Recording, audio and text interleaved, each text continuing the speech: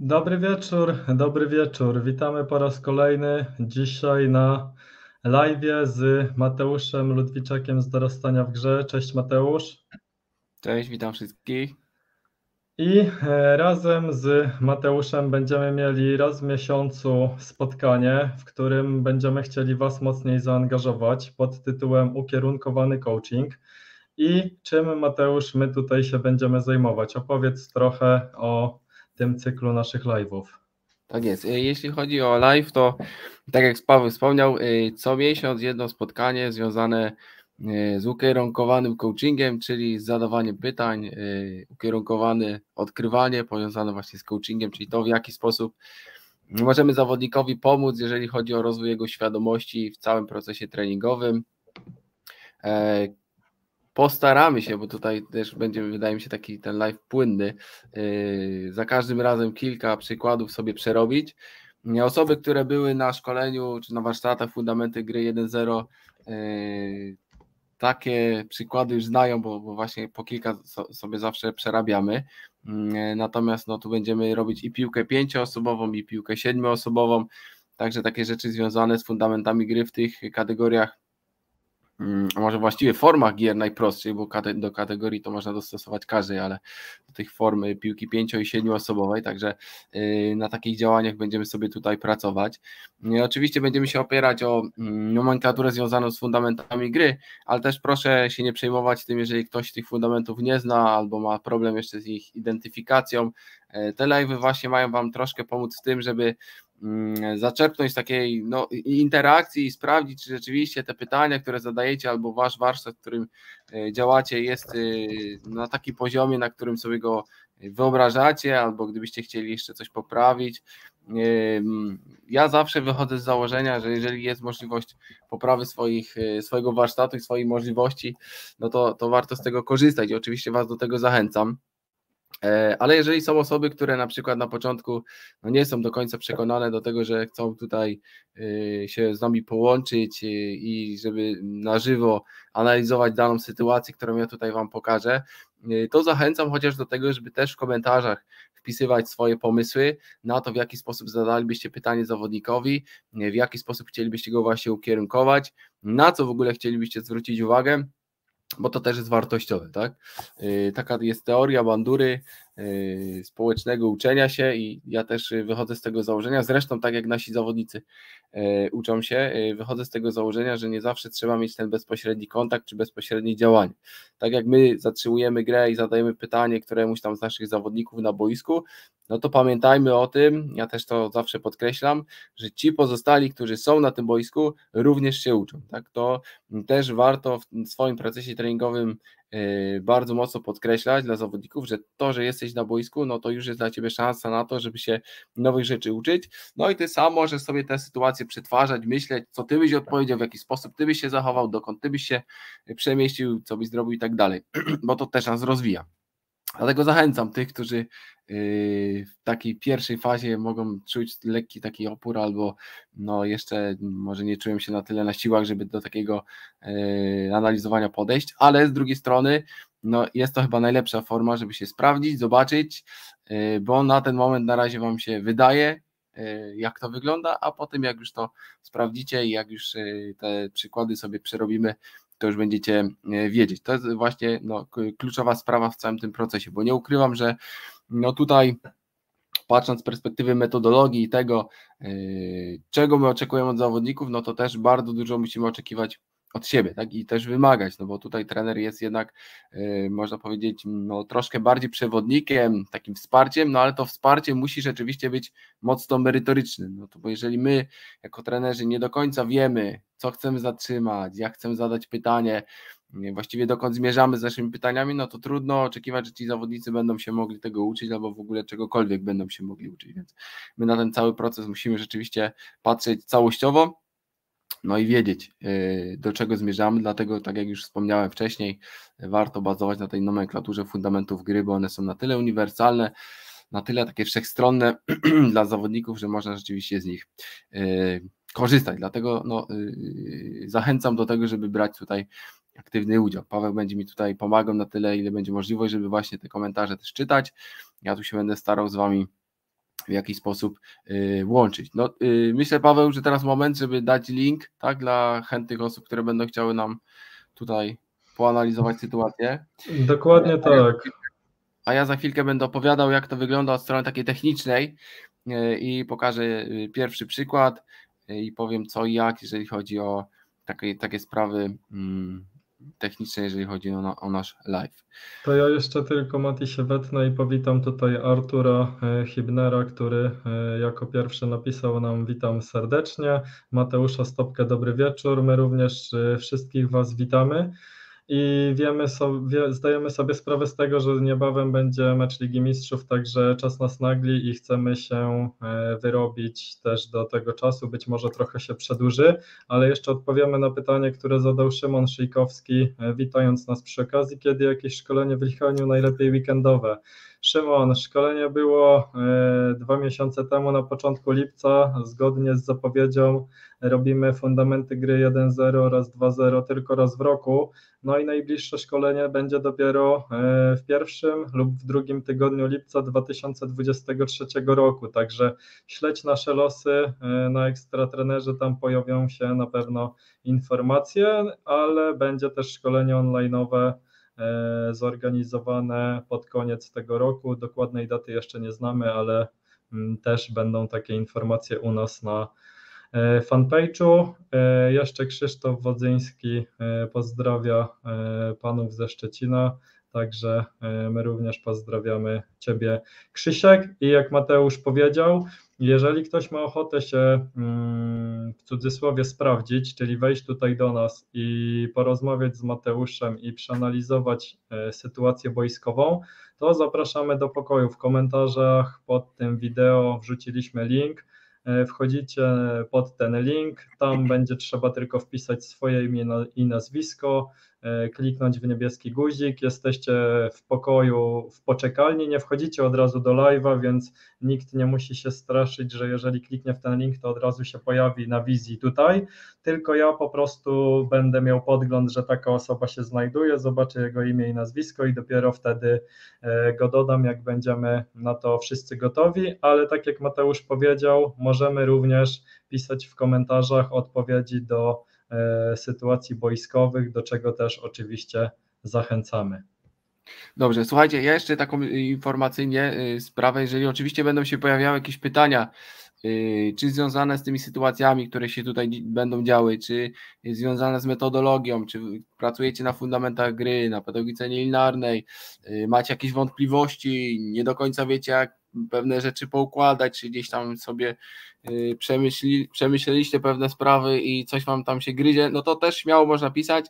Jak będzie czas, jak będzie możliwość, to będziemy tutaj, ja też będę na to wszystko odpowiadał, także yy, myślę, że taki czas sobie jakiś wygospodarujemy na te wszelkie wątpliwości dla was też, żeby w miarę możliwości przy okazji tego, że się już widzimy i spotykamy, no to, to też z tego korzystać, także zachęcam do takiej formy również, Przepraszam, jeżeli jest taka potrzeba, a jeśli nie, no to będziemy robić to, co mamy do roboty, bo tego jest i tak e, sporo. Dobrze, słuchajcie.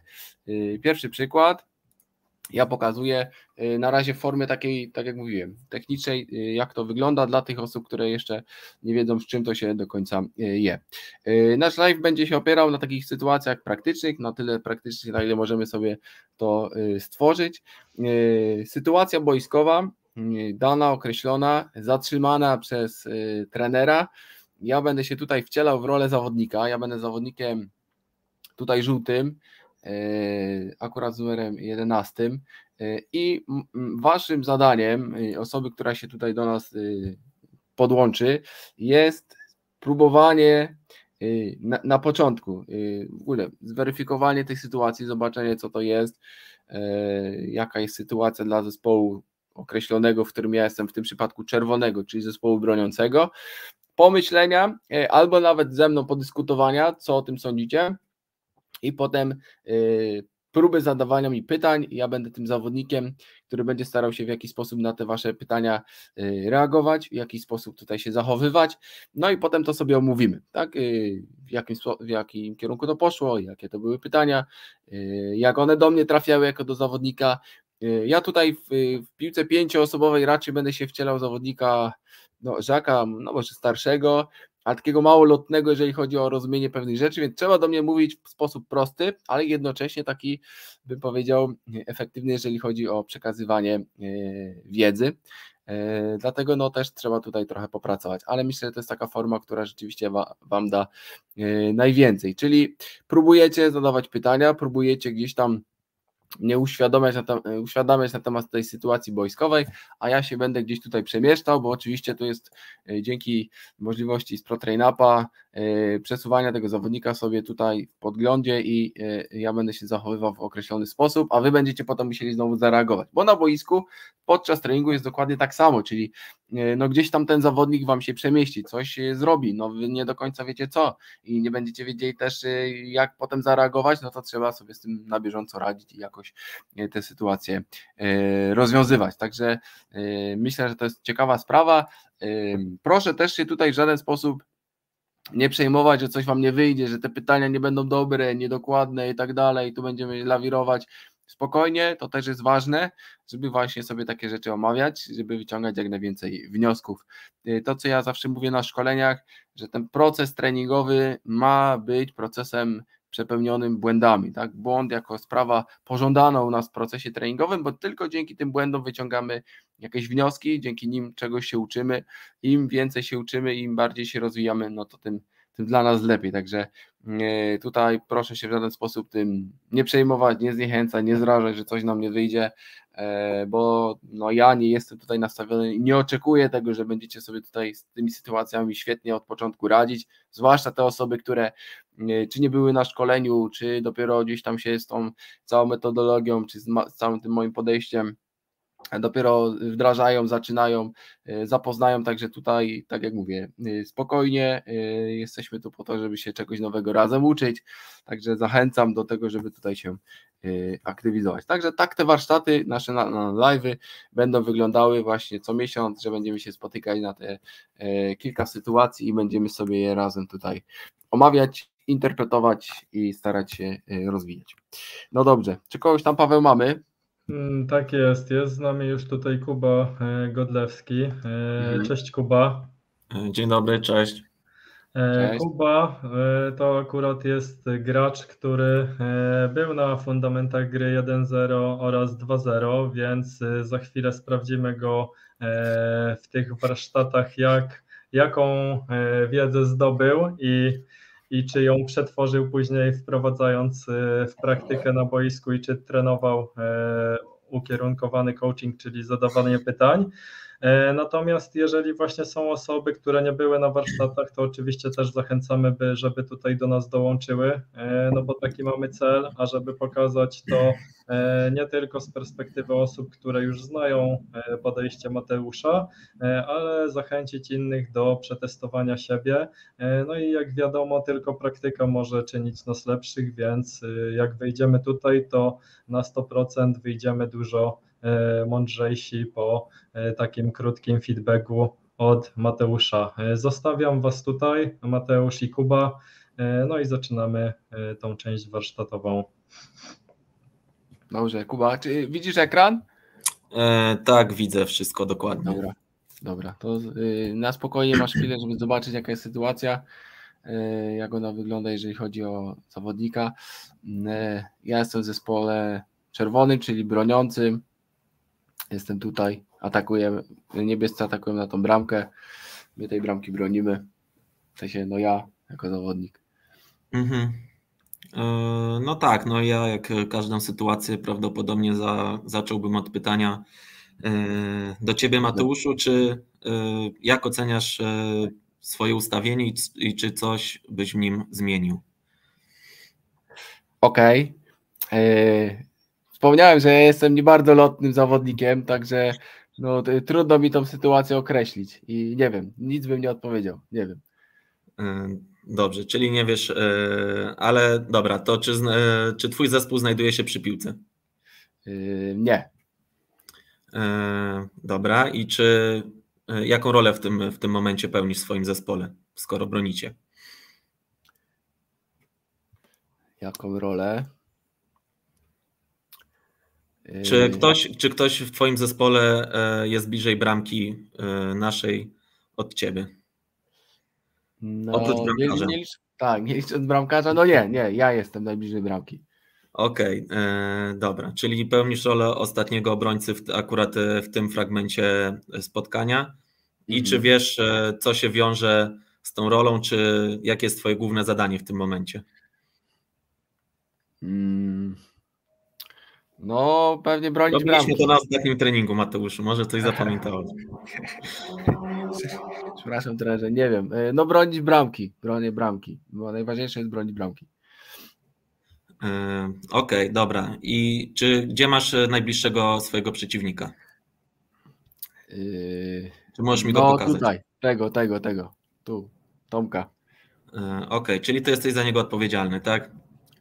tak. Dobra, to troszkę już może się naprowadziliśmy. Powiedz mi, czy w tym momencie, gdyby on dostał piłkę, jesteś e, w stanie mu ją odebrać albo zapobiec e, podaniu Yy, do niego? no nie, Nie jesteś w stanie, dobrze. A, no to dobra, no to teraz e, wróćmy do tego pytania, czy w takim razie coś zmieniłbyś w swoim ustawieniu właśnie w tej sytuacji, żeby nie dopuścić do tego, żeby on dostał piłkę i pobiegł sam na sam z bramkarzem naszym. żeby nie dostał piłki. Dobra, idę tu. Słuchajcie, yy, tak tylko po- powiem, yy, no Jakubie trochę utrudnia, bo to jest, yy, no, to jest specjalista, także muszę mu trochę utrudniać. No, jestem tutaj trenerze, tu stoję. Dobra. Pewnie Mm, podania. Okej, a jak rozmawialiśmy sobie o, e, o tym, że jesteś ostatnim obrońcą w naszym zespole, e, czyli dalej, dalej nie jesteś w stanie mi powiedzieć, e, jaka jest Twoja główna rola w tym momencie, jeżeli Ty jesteś tym ostatnim obrońcą. Nie. No dobra, no to może ja Ci podpowiem w taki sposób, że Twoim głównym zadaniem jest tak się ustawić, żeby widzieć wszystkich przeciwników przed sobą. Mhm. I czy w taki sposób, e, czy możesz się ustawić w taki sposób w tym momencie na boisku? Yy, mm, no, mogę. Tu.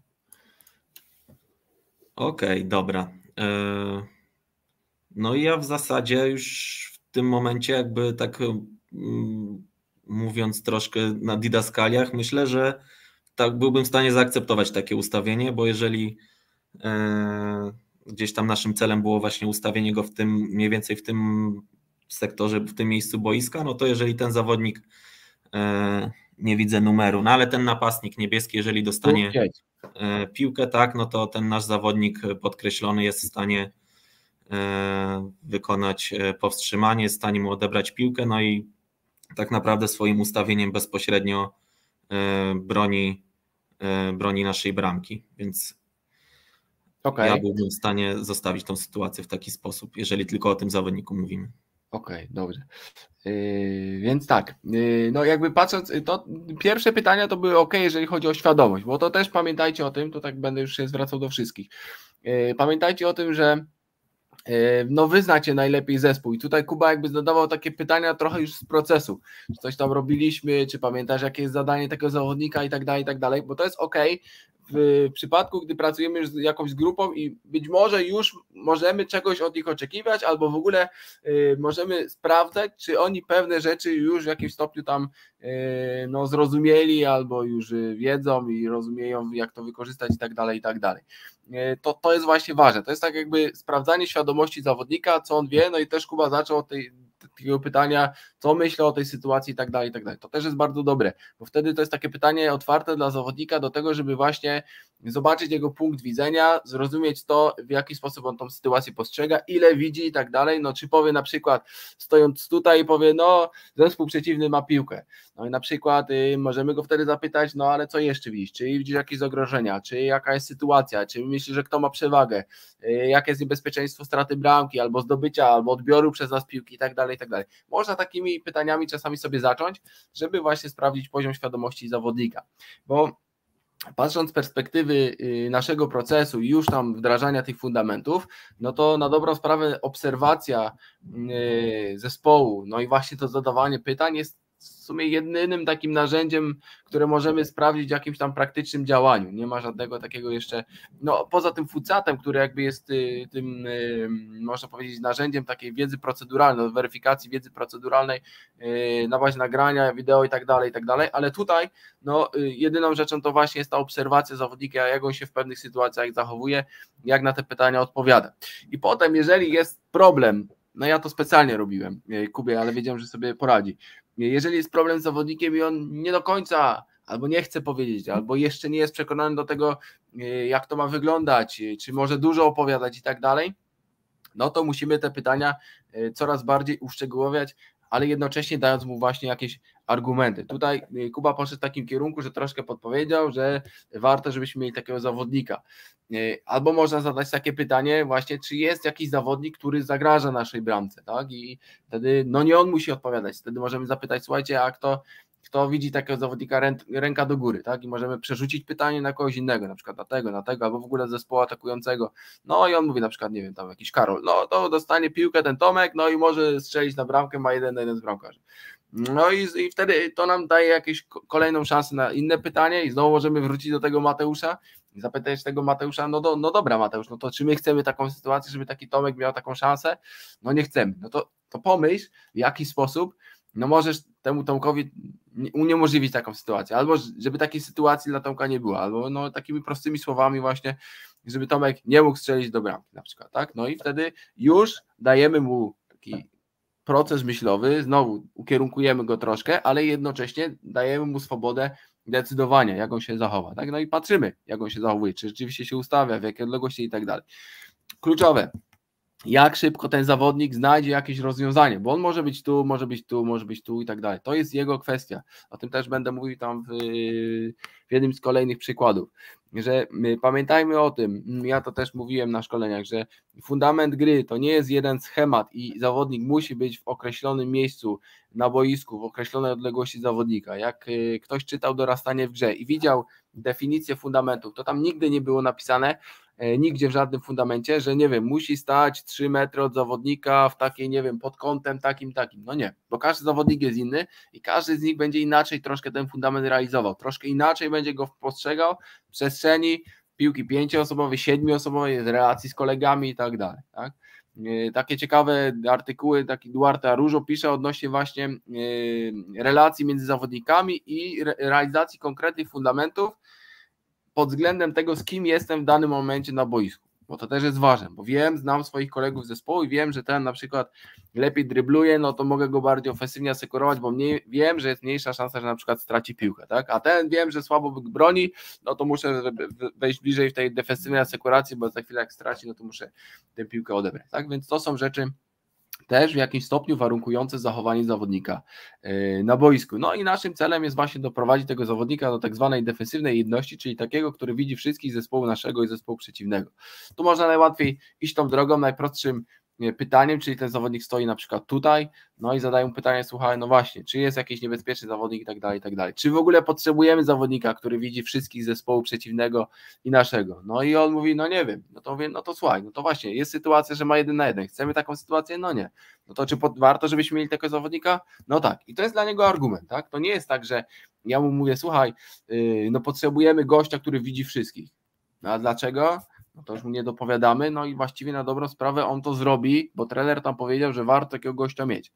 Ale jeżeli my właśnie damy mu taką sytuację, pokażemy, słuchaj, że jest niebezpieczeństwo, że ten ma większą szansę na zdobycie bramki i tak dalej, jak tu będziesz, to będziesz mógł piłkę odebrać, ee, no i zmniejszy się zagrożenie i tak dalej. No, to są rzeczy, które budują w nim poczucie takiej świadomości, po co te rzeczy robi, tak? Zna jakieś tam, e, ma jakąś wiedzę odnośnie tego, po co tak się dlaczego właściwie warto się tak w danej sytuacji e, zachować. Dlatego e, pamiętajcie, żeby te pytania właśnie troszkę były nacechowane takimi argumentami dla zawodnika, że daje ci to, tamto, e, daje zespołowi to, utrudnia przeciwnikowi tamto i tak dalej. Tak? Więc warto też w tym kierunku z pytaniami zmierzać. Dobrze, Świetnie, Kuba, bardzo dziękuję. Jest za pięć, a dopiero mam pierwszy przykład. Ale to nic. Na pewno sobie jeszcze jeden przerobimy. Yy, dziękuję Ci, Kuba, yy, za Dzięki. współpracę. Yy, Paweł, czy jest tam jeszcze ktoś, kto chciałby drugi przykład? Ja może Wielkie, pokażę.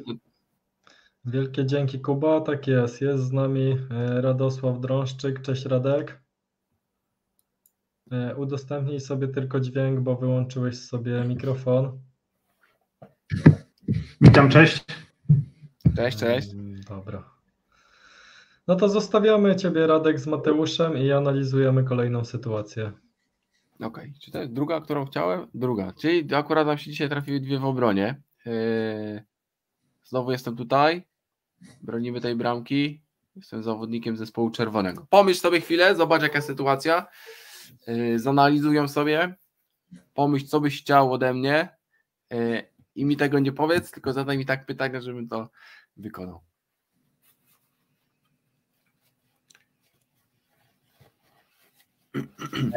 Mateusz, jaką rolę pełnisz teraz na boisku? Jaką rolę? No, bronię. Bronisz czego?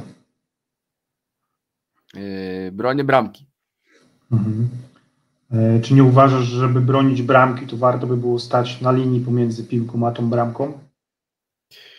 Yy, No, dość takie już pytanie. Dałeś mi, że łatwo mi znaleźć rozwiązanie. No, yy, no tak, myślę, że warto. No, Zmieniłbyś z tą wiedzą swoją pozycję na boisku? tak. Na jaką? Okej, no to pewnie tutaj. No. Mhm. Teraz jakie zadanie realizujesz? no, nadal broni bramki. Okej. E, Powiedz mi, czy jeśli zawodnik, który ma piłkę, minie twojego partnera, będziesz w stanie odebrać mu piłkę? Yy, tak, Będziesz w stanie. No to super.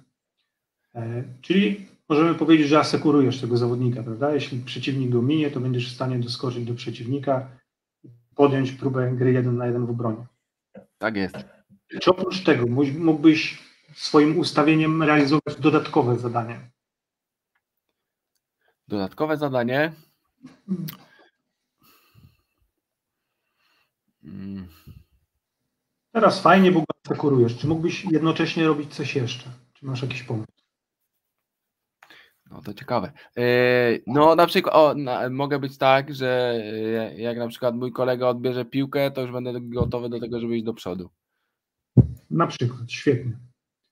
E, A czy jeśli ten zawodnik z piłką minie twojego kolegę, będzie jakieś inne rozwiązanie niż wejść z tobą w jeden na jeden?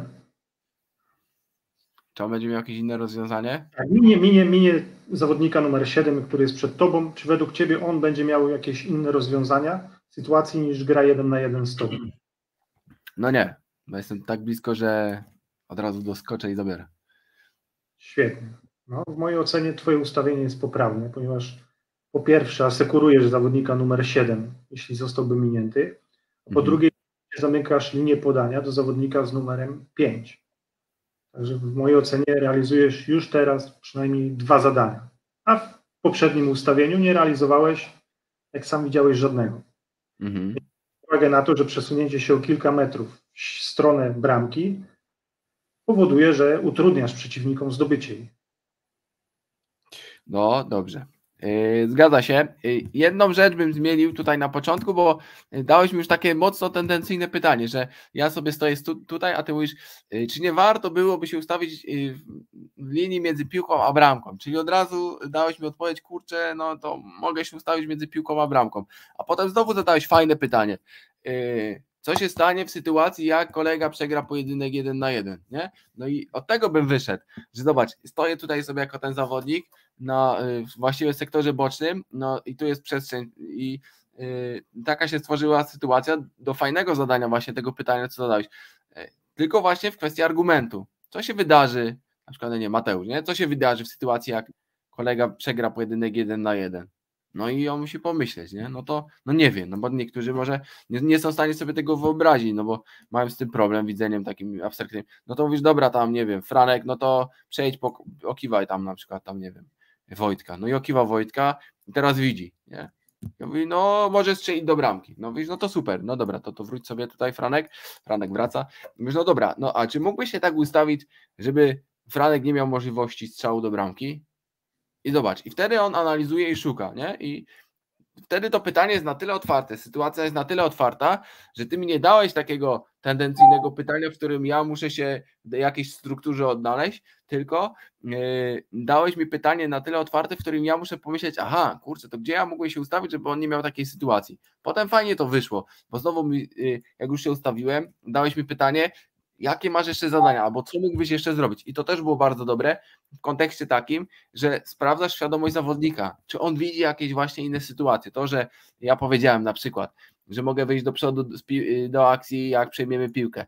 E, ty powiedziałeś tam jeszcze o tej linii podania i tak dalej, na przykład. Możesz jeszcze potem zrobić taką sytuację, to też dla Was, jeżeli na przykład sytuacja jest w miarę sprawna yy, i się udało yy, szybko tą sytuację rozwiązać i patrzycie na zegarek, tam kilkadziesiąt sekund minęło, to możecie powiedzieć, dobra, no to teraz Franek, yy, zagraj tam piłkę, nie wiem, do Michała, no i zagrywa do Michała. I teraz pytanie znowu może być, nie, dla zespołu czerwonego, dobra, no to ręka do góry, kto myśli, kto może zaatakować zawodnika z piłką?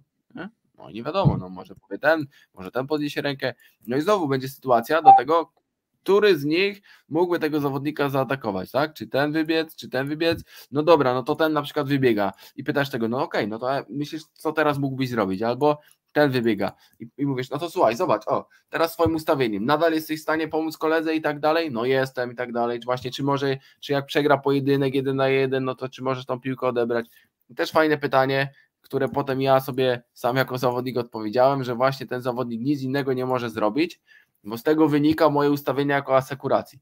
I znowu nie ma definicji, w której mówi, że muszę stać te, nie wiem, 3 metry, 2 metry, 5 metrów, tylko to, co Radek bardzo dobrze powiedział, potem podsumował, że nie daje żadnej innej możliwości przeciwnikowi. Tak? Czyli przegra, przegrał mój kolega pojedynek jeden na jeden i ja jestem na tyle blisko, że on nic nie może zrobić, ani oddać strzał do bramki, ani pewnie gdzieś tam podać do przodu, no więc moje ustawienie powoduje, że jako moje argumenty, że tam utrudniam przeciwnikowi zadanie. To, czy ja będę stał 3 metry, 5 metrów, nie wiem, pod takim kątem, bardziej defensywnym, czy pod takim, bardziej ofensywnym, no to już zależy ode mnie. Tak? Moich możliwości, tych moich ograniczeń, na których no, ja się uczę i których doświadczam właśnie w takich sytuacjach yy, wojskowych.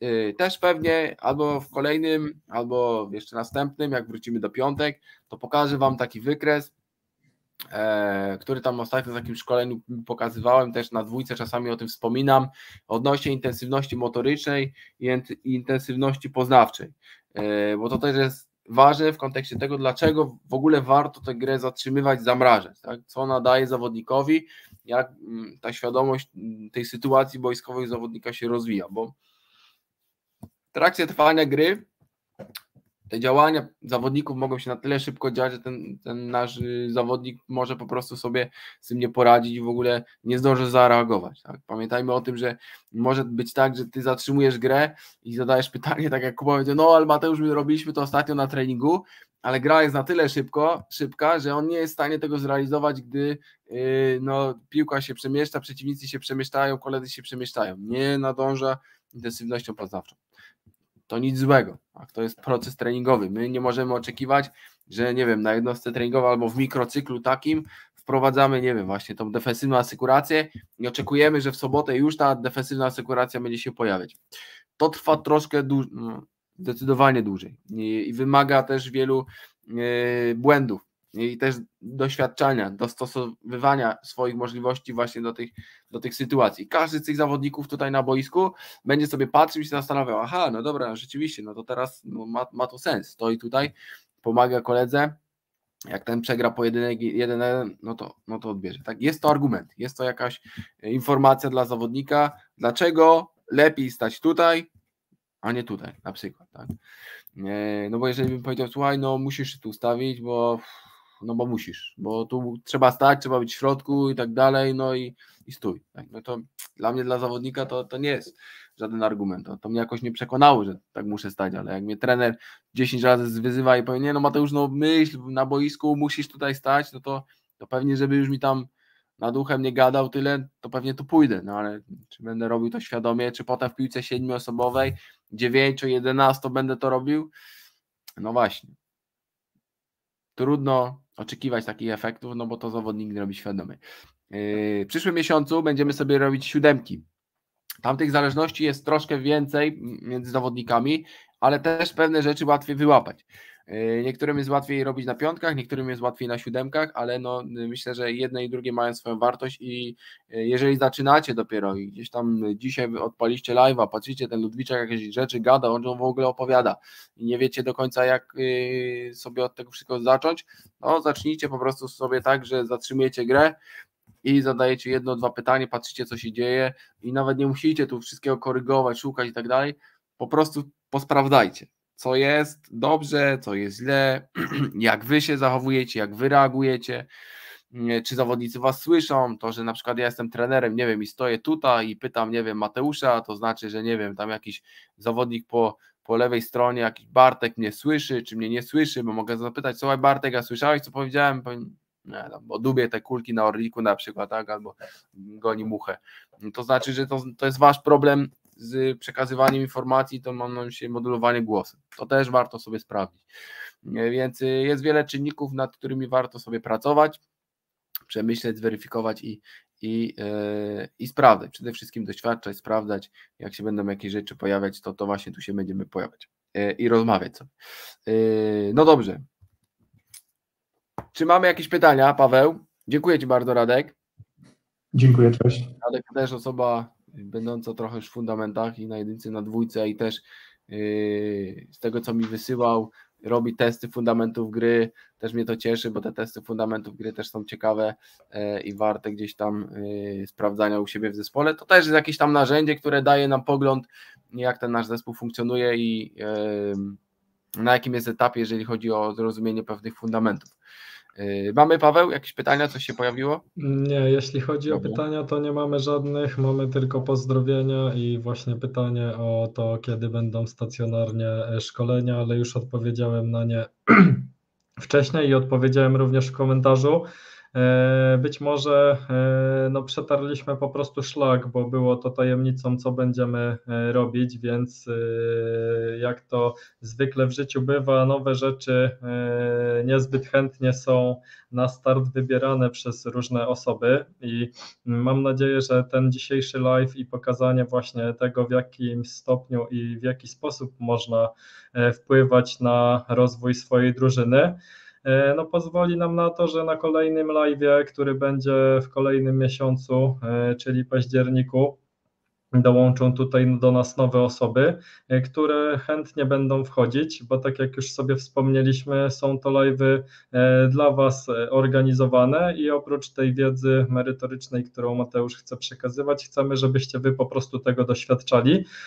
Jeżeli nie możecie być tutaj e, bezpośrednio, żeby wejść tak jak Radek lub Kuba, to zawsze możecie po prostu napisać w komentarzach swoje pytania i my wtedy będziemy je wyświetlać tutaj na bieżąco, tak żeby Mateusz też ewentualnie do tego się mógł odnieść. Natomiast wiadomo, że jeżeli będziecie live, no to wtedy ta interakcja z Mateuszem i omówienie zadania e, będzie dużo dynamiczniejsze i na pewno dużo bardziej praktyczniejsze, dzięki czemu e, no wy dużo więcej z tego e, zyskacie.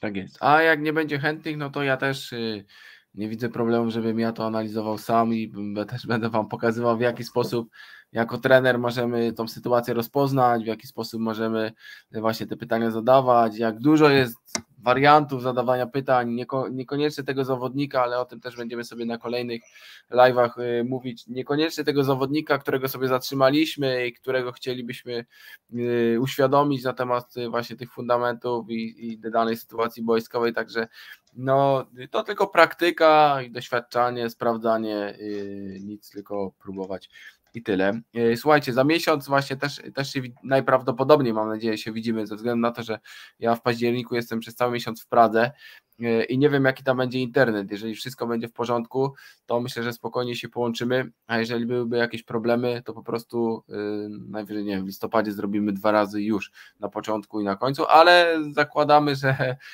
wszystko będzie dobrze i że jednak ten internet na tyle tam będzie stabilny, że będziemy mogli ten e, live sobie e, poprowadzić. Oczywiście śmiało zapraszam do kontaktu, jeżeli ktoś po dzisiejszym live e, troszkę się tą tematyką zainteresował i uznał, że o, no ciekawe rzeczy, albo no trochę go to zaintrygowało, coś nowego, to zachęcam. Y, na Facebooku można pisać na mój prywatny y, profil, albo można pisać na dorastanie w grze. Tam też y, odpisuję, także śmiało można się ze mną kontaktować, gdyby ktoś jakieś informacji albo jakieś pytań miał, jakieś pytanie miał, no to, to śmiało można się odzywać. No, jakieś inicjatywy też będziemy robić. Tak jak już Paweł wspomniał, pewnie jeszcze w tym roku fundamenty gry 1.0, ale w formie, w formie online, bo takie stacjonarne, otwarte, no są tylko raz w roku. Takie jeszcze takie jak dla klubów, ale to już jest kwestia klubu, to jest raczej zamknięte grono, także no tutaj stacjonarnie widzimy się, takie mam założenie raz, raz w roku.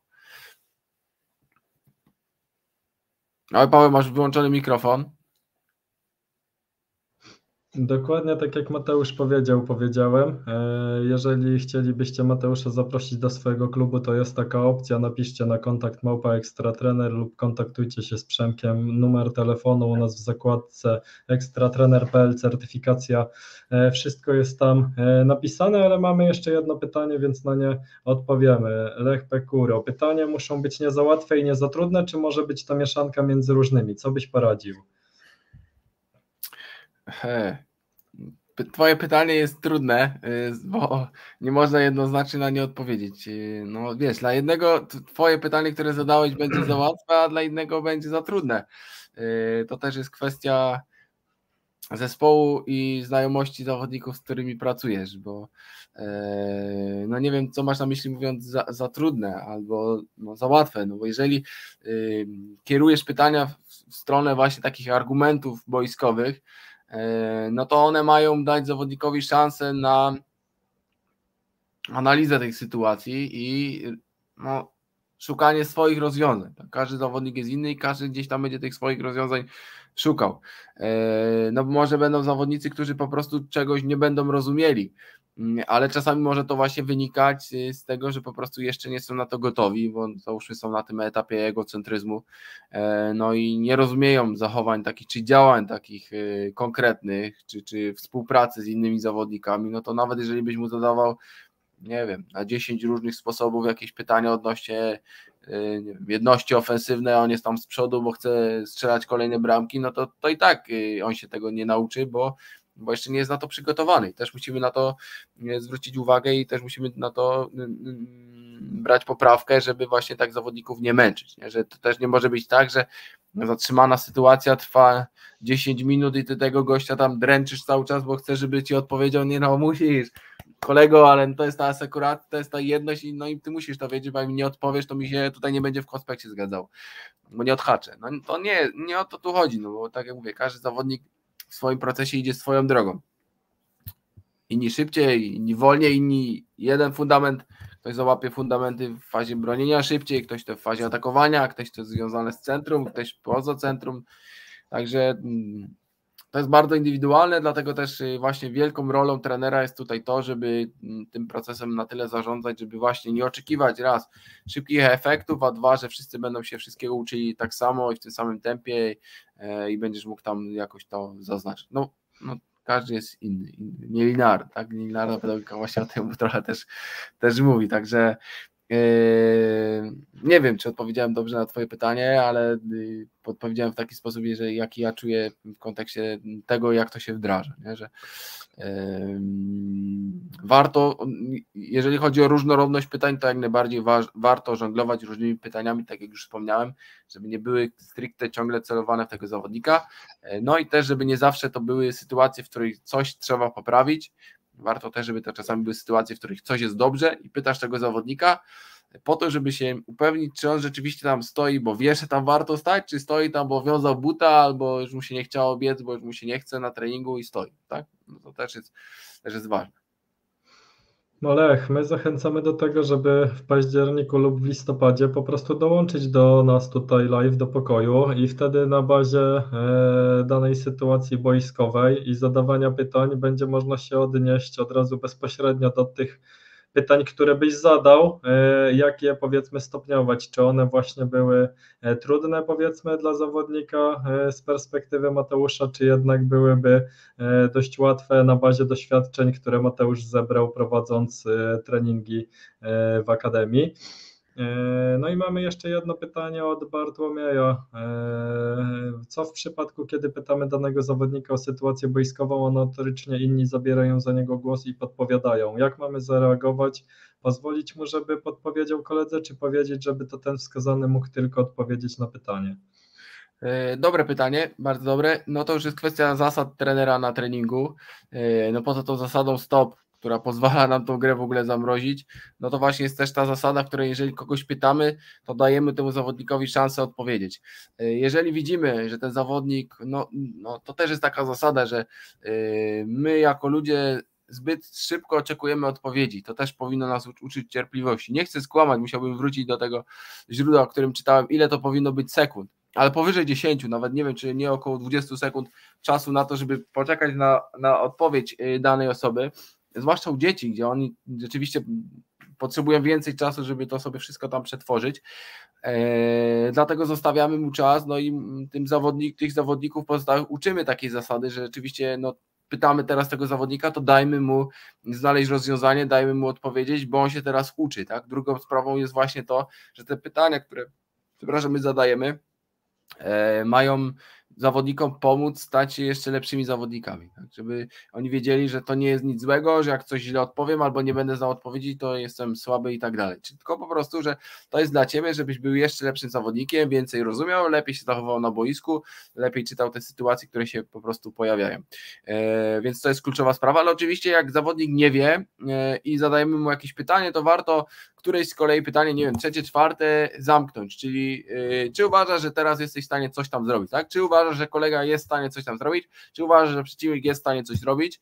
Gdzie odpowiedź jest wiadomo tak lub nie i jeżeli y, zawodnik mówi nie, a odpowiedź jest tak, no to wiadomo, że nie wie, no i wtedy przeskakujemy pytaniem na kogoś innego i pytamy tego, kto tam na przykład się zgłaszał albo y, pytamy, słuchajcie, a kto myśli, że co można było zrobić i tak dalej, no i dajemy kogoś innego, tak? Mówimy, ok, dobra, fajnie, dobry pomysł, albo ok, yy, zobaczymy kto, yy, czy ktoś ma jakiś inny pomysł i tak dalej, tak? Zostawiamy go, patrząc, że on pewnych rzeczy może jeszcze nie rozumieć, ale nie mówiąc, no ty się nie znasz, nie rozumiesz, y, no tylko staramy się go tak zostawić, żeby rzeczywiście był tam z przeświadczeniem, o fajnie, popróbowałeś, albo zostawić go i powiedzieć, ok, gdzieś tam się przemieścił, nie przemieścił się też czasami w kierunku, w którym my chcieliśmy, ale trochę to czasu zajęło, to no dobrze, no to uważasz, że tutaj, ok, no to puścimy grę i zobaczymy, co się wydarzy, tak, no i gramy.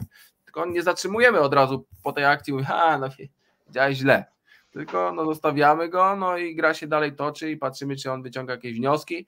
Jak sytuacja się znowu w zespole powtarza, to za jakiś czas znowu można sobie coś tam, czy na tym samym treningu, czy w kolejnym znowu zatrzymać u innej osoby i sprawdzić inną osobę. Tak? Więc kluczem to są te zasady yy, organizacji, kontroli te, te, tych właśnie momentów z zamrożeniem, że trener Yy, i zawodnicy wiedzą po co to jest, no i jak się w, w, tej sytuacji zachować. Także nie przekrzykują, nie podpowiadają, no bo te podpowiedzi to jest tak jak rodzice podpowiadający z zapłotu, którzy mówią zawodnikowi, co ma zrobić. To każdy ma czas na to, żeby samodzielnie przemyśleć. Czasami pytanie jest do całego zespołu, czasami jest w ogóle pytanie do innego zespołu, nie do tego, który ma na przykład piłkę, nie do tego, którego chcemy zbodźcować, czy, czy uświadomić daną sytuację. Nie, wiem, nie zespół broniący, a atakujący, także na różne sposoby. Ale o tym też będziemy sobie rozmawiać. Także no tu jest, tu, tu warto, e, żebyś, żebyś Bartek popracował nad tym, żeby właśnie wdrożyć tą zasadę, że no po prostu nie, nie podpowiadamy, nie zabieramy głosu, pozwólmy mu podjąć samodzielnie decyzję,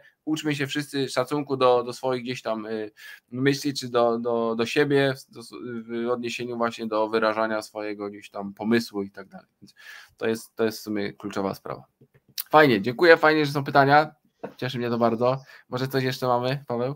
E, niestety nic już nie mamy, e, natomiast jak na start naszego cyklu myślę, że było e, całkiem aktywnie. No i mamy nadzieję, że będzie więcej tych pytań więcej osób chętnych do tego, żeby porozwiązywać sytuacje boiskowe.